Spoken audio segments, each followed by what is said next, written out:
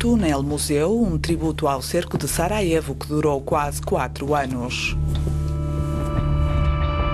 Quando a guerra começou, após a desintegração da Jugoslávia, as forças sérvias cercaram a cidade. O túnel original tinha 850 metros. Hoje só restam 25.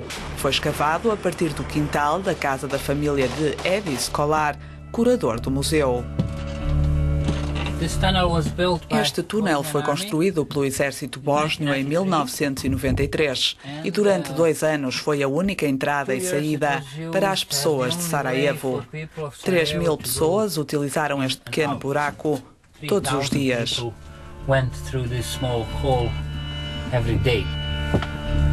O exército bósnio demorou três meses e meio a escavar o túnel que passava por baixo do aeroporto, uma zona controlada pela ONU.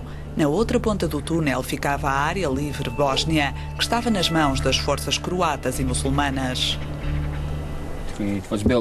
Foi construído para ligar esses dois lados, a cidade e o território livre bósnio. O aeroporto estava nas mãos da ONU e eles não nos deixaram passar por cima.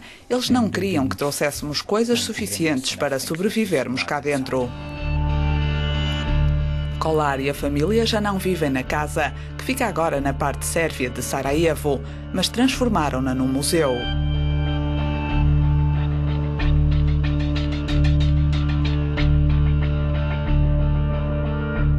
O ator Richard Gere já visitou o Túnel Museu, que pretende homenagear os que viveram o cerco da cidade.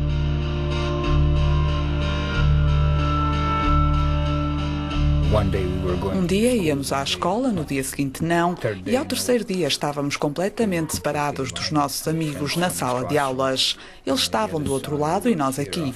Passado algum tempo também nos juntamos ao exército e a guerra começou, mas durante os quatro anos tivemos a esperança de que acabasse não no dia seguinte, mas na semana seguinte, definitivamente. Isso manteve-nos vivos. Em março, o governo bósnio comprou a casa e o túnel de Kolar.